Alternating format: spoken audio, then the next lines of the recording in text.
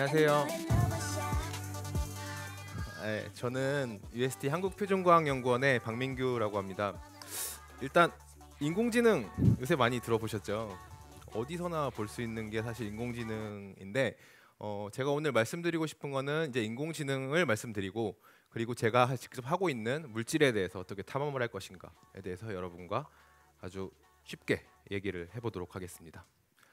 일단 발표에 앞서서 어, 혹시 그림 관심 있는 분들이면은 아실 수도 있는데 혹시 이 그림 어떤 그림인지 아시는 분 계신가요? 없죠. 예, 당연히 없을 거예요. 어, 그러면은 이거 누가 그렸는지 아시는 분 계세요? 오, 오 레, 렘브란트 나오시죠? 사실은 사람이 그린 게 아닙니다. 알겠지만 보시면은 둘 다 기계가 그린 거예요. 그래서 왼쪽 거 보면은 이제 Next Rembrandt가 그리고 오른쪽을 보면은 이제 구글 AI가 어, 각각의 왼쪽 보면은 좀 전에 나온 렘브란트 화풍을 따라서 그리고 오른쪽 그림은 빈센트 반 고흐 화풍을 따라서 기계한테 막 공부를 시킵니다. 그런 다음에 이거를 완벽하게 재현하지 말고 대략 비슷하게만 그려라라고 명령을 내려요. 그랬더니 이렇게 멋진 그림이 나왔다고 합니다. 인간이 사실은 위대할 수 있는 이유가 어떤 분은 이렇게 얘기하셨죠. 문학과 예술이다. 왜냐하면 그것은 인간이 가지고 있는 창의성이 들어가야 되는 부분이기 때문이죠. 근데 중요한 거는 지금 인공지능이 그 영역까지도 와 있다는 게 중요합니다. 다음으로 해볼게요. 제가 하나 제가 준비를 했어요. 휴대폰을 꺼내고요. 이렇게 해가지고 한번 해볼게요. 혹시 식사하셨나요? 아 저는 못 먹고 왔거든요. 네. 그래가지고 지금 배가 고픈데 제가 많이 하는 거 있잖아요. 어, 근처에 맛집 좀 자, 감사합니다. 이따 먹을게요. 어, 와서 어, 근처에 맛집 좀 누가 찾아주면 좋겠다라고 할 때 있잖아요. 그럼 휴대폰을 다 꺼내시고 네, 광고하는 건 아닙니다. 그래서 하나 해볼게요. 오케이 구글 근처에 맛집 찾아줘. 다음은 2km 이내에 있는 맛집 목록입니다. 들리시나요? 이렇게 나오거든요. 똑같이 해보셔도 이렇게 나와요. 그리고 어 그리고 또 하나 해보면은 제가 이제 외국 다니면은 외국말을 다 잘할 수는 없죠. 일본이나 뭐 독일 이런 데 가서 일본 말도 못 하고 전 독일 말도 못 하거든요. 근데 물건을 사고 싶어요. 그래서 또 이렇게 합니다. 오케이 구글. 이거 얼마예요? 일본어로 알려 줘. 아, 이렇게 멋있게 말해 줍니다. 아, 이게 무슨 마법도 아니고 이게 뭐지? 나 이러신 분 계실 텐데 사실 요새 광고를 많이 해서 다들 많이 알고 계시죠. 사실 이거 제가 좀 전에 보, 보여드렸던 렘브란트와 그 빈센트 반 고흐 그리고 지금 이 음성 인식 분야는 인공지능의 한 분야입니다. 근데 인공지능이 사실은 지금 바로 갑자기 어느 날 탁 튀어나온 게 아니라 굉장히 오래 전부터 연구가 되어 왔어요. 보면은 1950년에 앨런 튜링이라는 어, 영국의 수학자가 어, 계산 기계와 지능이라는 논문에서 처음으로 이제 인공지능 그러니까 기계와 그 사람과 연결할 수 있는 이런 개념을 나타냈고 그리고 그다음에 56년에 이제 다트머스 회의라는 곳에서 인공지능이라는 용어가 등장을 하게 됩니다. 그러면은 인공지능이 여러분이 생각하는 인공지능이 맞아요. 그게 인공지능인데 용어에 대한 개념은 사실은 제가 이 어떤 걸 봤어요. 이 마이크를 처음 봤을 때 이게 뭔지 모르겠어요. 그러면은 어떻게 생각하죠? 이게 뭐지라고 생각을 추론을 하죠. 이게 뭐지? 먹는 건가? 때리는 건가? 하다가 어제 막 때려도 보고 말도 해보고 근데 어 소리가 크게 나와. 추론을 한 거죠. 오 이거 마이크인가? 한 다음에 이해를 해요. 그런 다음에 다시 말해 보니까 어또 소리가 크게 나. 아 이거 마이크네라고 학습을 하게 됩니다. 그러면 다음에 제가 이걸 봤을 때는 아 이거 마이크잖아라고 하게 되는 겁니다. 그게 바로 그냥 인공지능. 사실 엄청난 어떻게 생각하면 엄청나게 대단한 기술이지만 어떻게 생각하면 늘 우리가 생각하는 그런 게 사실은 인공지능이라고 생각할 수 있습니다. 그럼 이거 지금 어떤 인공지능을 어떻게 분류해야 되나? 사실 분류에 대한 것은 굉장히 많아요. 인공지능에 대한 분류는.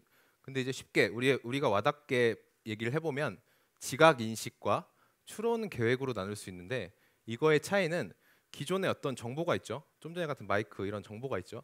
이런 정보를 가지고 지금 어떤가 생각하는 거와 그리고 앞으로 어떤 일이 일어날 것인가에 대해서 나눌 수가 있어요. 예를 들어 볼게요. 처음에 나와 있는 이 그림 있죠, 사람. 사람 그림을 사진을 찍어요. 그 다음에 기계한테 여기는 눈이고 여긴 코고 입이다. 이렇게 딱 학습을 시키면은 여러 개를 학습을 시키면은 다음에 사람 얼굴을 봤을 때 눈, 코, 입을 분류를 해주고 그리고 그 다음에 더 나아가서 이 사람이 어떤 사람이다를 알려주죠. 그게 첫 번째 거예요.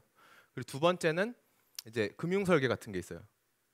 돈은 사실 보면은 금융이 이제 돈이잖아요. 근데 돈은 지금이 중요한 게 아니라 사실은 앞으로 어떻게 될지 예측하는 게 더 중요하죠. 그러면 이제 과거에 기존의 지각 인식을 넘어서서 어, 현재를 예측할 뿐만 아니라 앞으로 미래도 예측해야 되는 그런 게 이제 추론 계획이라고 생각을 하면 되겠습니다. 그러면 여기서 궁금한 게 하나 생기잖아요. 그럼 왜 인공지능이 이제 와서야 그렇게 발달한 것인가? 라고 생각을 해보면 이 세 가지 요소가 있어요. 발전하려면 첫 번째는 그걸 기술하기 위한 데이터가 있어야 되고 두 번째는 그 컴퓨터가 좋아야 되겠죠. 그리고 세 번째는 그거를 같이 어떻게 잘 묶어줄 수 있는 효율적인 알고리즘이 있어야 돼요. 이 세 가지가 있어야 되는데 하나씩 예를 들면 빅데이터 같은 경우에 보면은 재작년에 IBM에서 발표한 자료에 따르면은 하루에 250경 바이트씩 데이터가 생긴대요. 이 와닿지가 않죠? 250경, 1만 억조 경. 안 와닿죠? 근데 1테라바이트가 영화 대략 900편 정도 되거든요. 용량이 작은 거. 900편 정도 되고 이거에 100만 배예요. 그러면은 대략 9억 편 하루에 영화만 9억 편 정도씩 계속 생산된다고 하는데 어, 더 재밌는 게 이 데이터가 사실은 2016년 이후에 90% 이상이 생성이 됐어요. 그럼 어떤 거 알 수 있어요? 데이터가 엄청나게 빨리 증가하고 있다. 이거 알 수 있겠죠? 그럼 그거를 처리하기 위해서 컴퓨터가 좋아야 된다 그랬잖아요. 슈퍼컴퓨터를 예로 들어볼게요. 2008년에 Roadrunner라는 슈퍼컴퓨터와 2018년 6월 6월이에요. 몇 달 안 됐는데 Summit이라는 슈퍼컴퓨터가 있는데 이게 187배 차이가 나요. 더 재밌는 건 20년 전의 슈퍼컴퓨터는 지금 여러분이 가지고 있는 스마트폰보다 느려요. 20년 전. 굉장히 오래된 것 같지만 20년 전에 슈퍼컴퓨터 막 방을 채우고 있는 슈퍼컴퓨터들이 스마트폰보다 느리고. 그리고 가장 중요한 게 사실 이걸 묶어줄 수 있는 알고리즘이거든요. 근데 2000년대에 이제 유명한 교수님 힌튼 교수님께서 deep learning을 통해 이제 deep 어, deep belief network라는 것을 발표를 하시고 이 이후에 좀 전에 어, 우리가 해봤던 이미지, 문자, 음성 인식이나 아니면 마지막 아, 처음에 봤던 그림 그리는 거 있죠. 그건 이제 어, 생성적 적대 신경망이라는 걸 이용하는데 이러한 다양한 알고리즘이 발달했기 때문에 지금 와서 이렇게 인공지능이 빠르게 발전할 수 있는 겁니다. 아, 중요한 건 이제 제가 재료를 다루는 사람이다 보니까 이걸 그럼 인공지능을 어떻게 재료 분야에 어, 같이 적용할 수 있을까라고 생각을 해보면 처음에는 이제 알려진 물질 여러 가지 물질이 있죠. 여러분 앞에 종이도 있고 플라스틱도 있고 아니면 금속 여러 가지가 있습니다. 이런 물질로 인공지능에 대한 모델링을 한다고 합니다. 모델링을 하고 그 다음에 패턴을 추출하고 예측한 다음에 결국은 비교하고 어, 어떻게 가능한 실제로 합성 가능한 물질이 있으면 이거에 대한 거를 어, 추출을 하게 됩니다. 하나씩 볼게요. 어, 위쪽에 보시는 이 파란색으로 보이는 게 어, 원자 구조라고 하는 거예요. 원자 구조는 우리가 어, 가지고 있는 물질을 이루는 최소 단위가 원자인데 그거를 어, 이제 구조를 모델링을 한 거예요. 이러한 데이터 이게 정보고요. 2분 남았습니다. 네, 정보고요. 그리고 밑에 있는 복잡한 게 신경망이에요. 인공 신경망. 그래서 이 두 가지를 이제 합쳐서 모델링을 합니다. 네, 다음 단계로 넘어가면은 처음에 그림에 보이는 것과 같이 이렇게 막 패턴이 보이죠. 근데 사실은 이런 패턴도 많이 쓰이는데 실제로는 이 복잡한 신경망 속에서 어, 어떤 복잡한 형태의 공통점을 막 찾고 그래요. 그리고 마지막처럼 이렇게 클러스터 이렇게 모인 특징끼리 모인 이런 어, 애들을 뽑기도 하고 그래서 그러한 걸 가지고 새로운 물질의 특성을 예측합니다. 그래서 어 이걸 넣으면은 그러니까 이게 상자가 있고 인공지능이라는 상자가 있고 그 안에다가 이런 데이터를 넣으면 어떤 값이 튀어나오는 거예요. 그래서 마지막에 새로운 물질 특성을 예측을 하게 돼요. 예측을 했죠. 예측을 한 다음에 그 결과를 분석합니다. 막 분석해요. 컴퓨터로도 분석하고 사람 눈으로도 보고 여러 가지 데이터를 분석하고 기존에 알려진 것들과 비교를 합니다. 비교를 한 다음에 어 이게 잘 맞는 모델이고 굉장히 좋은 인공신, 인공신경망이다. 약간 이러면은 최종적으로 실험팀이나 아니면 실제로 합성을 하시는 분들에게 의뢰를 해서 어, 이런 물질이 합성이 가능할까요? 실제로 쓸 수 있을까요? 라고 해서 실제로 가능한 물질들을 추리게 됩니다. 그러면 이제 처음부터 끝까지 다 왔죠. 그래서 일반적으로 이렇게 인공지능과 물질 탐험에 대한 연구를 진행을 하게 되고요.